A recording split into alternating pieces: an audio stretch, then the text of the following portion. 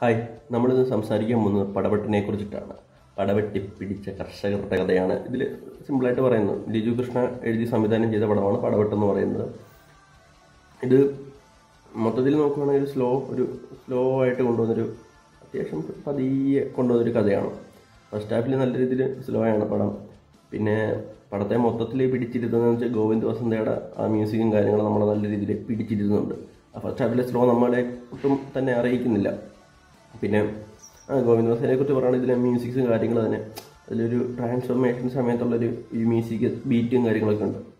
അവിടെ ഒരു മ്യൂസിക് ഉണ്ട്. പിന്നെ അതുപോലെ തന്നെ ഈ നിവിൻ പോളി നിവിൻ പോളിയാണ് കേന്ദ്രകഥാപാത്രം നിവിൻ പോളിയായിട്ടുള്ളൊരു റൊമാന്റിക് ഒരു പ്രണയരംഗമുണ്ട് ആ സമയത്തുള്ള മ്യൂസിക്കും കാര്യങ്ങളൊക്കെ നല്ല രീതിയിൽ എനിക്ക് ഇഷ്ടപ്പെട്ടായിരുന്നു. പിന്നെ ഇതിലെ പെർഫോമൻസുകൾ നമ്മൾ ചർച്ച ചെയ്യുകയാണെങ്കിൽ നിവിൻ പോളി നല്ല പ്രകടനം തന്നെയായിരുന്നു. ഇതിന്റെ നിവിൻ പോളിയുടെ ഒരു ട്രാൻസ്ഫോർമേഷൻ ഒരു സംഭവമുണ്ട്. നിവിൻ ഒരു ഒരു പോയിന്റ് എത്തി കഴിയുമ്പോൾ അങ്ങോട്ട് ട്രാൻസ്ഫോം ചെയ്യുന്ന സമയത്ത് അത് ആ ഒരു സാധനമൊക്കെ എനിക്ക് നല്ല രീതിയിൽ ഇഷ്ടപ്പെട്ടായിരുന്നു. അതിനു മുമ്പും നിമ്പോളി അഭിനയിക്കുന്ന രീതി ഒരു നമ്മൾ ട്രെയിലർ കണ്ടുമ്പോൾ അറിയാം ഒരു ഒരു തോൽവിയിൽ നിന്നും ഉയർത്തെഴുന്നേറ്റ് മാറുന്നൊരു സംഭവമാണ്. പിന്നെ ഇതിൽ എടുത്തു പറയേണ്ട കുറച്ച് ക്യാരക്ടേഴ്സ് ഉണ്ട്. എന്ന് പറയുന്നത് അന്ന് നിമ്പോളിയുടെ കൂടെ അഭിനയിക്കുന്ന എന്താണ് ഒരു ചേച്ചിയുണ്ട് രമ്യ സതീഷ് എന്ന് രമ്യ സുരേഷ്. ഓക്കെ രമ്യ സുരേഷ് എന്നാണ് പേര്. നല്ല ഒരു പ്രകടനമാണ് പുള്ളിക്കാരി കാഴ്ചവെച്ചത് പിന്നെ അതുപോലെ തന്നെ എനിക്ക് ഇഷ്ടപ്പെട്ട ഷമ്മി തിലകൻ. ഷമ്മി തിലകന്റെ സൂപ്പർ ആക്ടിങ് ആയിരുന്നു.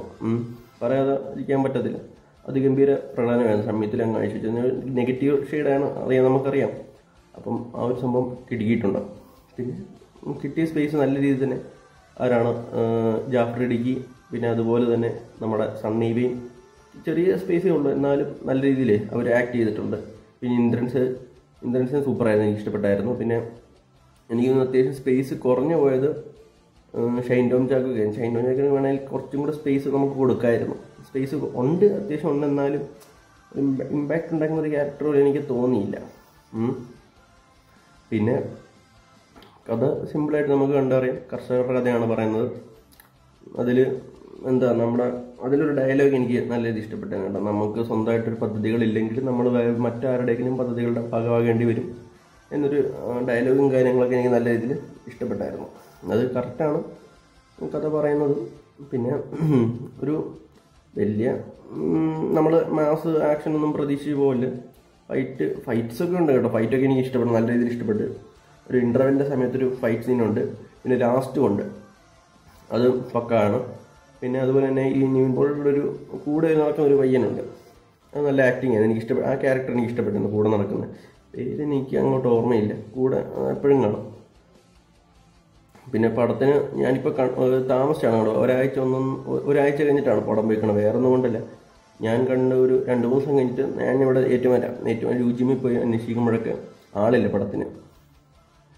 ഒറ്റയാളില്ല. ഞാനാണെങ്കിൽ രാവിലെ പോയി ടിക്കറ്റ് മുങ്ങ ഞാനും ഒന്നെങ്കിൽ വേറൊരു പുള്ളി കാണും അല്ലെങ്കിൽ ഞാൻ മാത്രമേ ഉള്ളൂ. ഇപ്പം പടം ഇന്ന് ഓടിക്കത്തില്ല. ക്യാൻസൽ ചെയ്യാമെന്ന് പറയും. ഒരു നാലഞ്ച് ദിവസം ഇങ്ങനെ കഴിഞ്ഞിട്ടാണ് ഇന്നലെയാണ് ഞാൻ പോയി പടം കാണുന്നത്. പടം ഇറങ്ങി ഒരാഴ്ച കഴിഞ്ഞു. ഇന്നലെയാണ് ഞാൻ പടം കാണുന്നത്.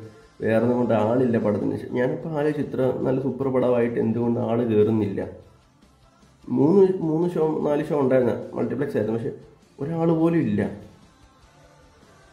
ഭയങ്കര ഒരു അവസ്ഥയാണ്. ഇങ്ങനെ ഇങ്ങനത്തെ സിനിമയ്ക്കൊക്കെ സപ്പോർട്ടില്ല ഓഡിയൻസ് ഇല്ല എന്നൊക്കെ പറയുന്നത് ഒരു നമ്മൾ തിയേറ്ററിൽ കാണേണ്ട പടം തന്നെയാണ്. ഇതിന്റെ ഗോവിന്ദ സാറെ മ്യൂസിക്കും ആ ഒരു സാധനമൊക്കെ കുറച്ച് സാധനമൊക്കെ ഉണ്ട് കണ്ടിരിക്കാൻ പറ്റുന്നത്. അത് നമ്മൾ തിയേറ്ററിൽ തന്നെ എക്സ്പീരിയൻസ് ചെയ്യേണ്ട കാര്യങ്ങൾ തന്നെയാണ്. ഗോവിന്ദ സാറം ട്രാൻസ്ഫോർമേഷൻ സമയത്തുള്ള ആ മ്യൂസിക്കിന്റെ ഒരു ആ ബി ജി എം ഒക്കെ ഉണ്ട്. അത് നല്ല എനിക്ക് ഇഷ്ടപ്പെട്ടായിരുന്നു.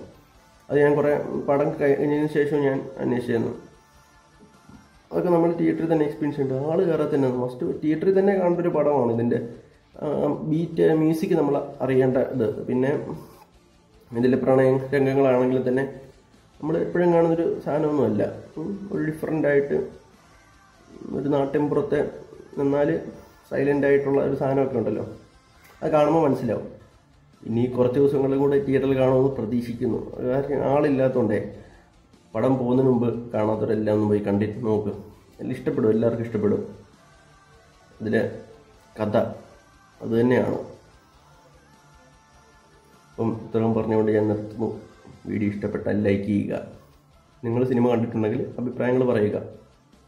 മറ്റുള്ളവരുടെയും കൂടെ കാണാത്തവരുടെ ഇതിന്റെ കാര്യങ്ങൾ പറഞ്ഞ് പടം ഒന്ന് കാണിച്ചു നോക്കും. ഇഷ്ടപ്പെടും എല്ലാവർക്കും. ഇതൊരുമാതിരി ഒരു ഫിലിംസിനൊക്കെ ഒരുമാതിരി എന്താ ഡിഗ്രേഡ് കാര്യങ്ങളല്ല? എന്റെ പോസിറ്റീവ് റിവ്യൂസ് തന്നെ ഈ പടത്തിന് വരുന്നു പക്ഷെ ആൾ കയറുന്നില്ല പിന്നെ കണ്ട ആളുടെ അഭിപ്രായം പറയുക. പിന്നെ എപ്പോഴും പറയുന്ന പോലെ സബ്സ്ക്രൈബ് ചെയ്യുക. Bye.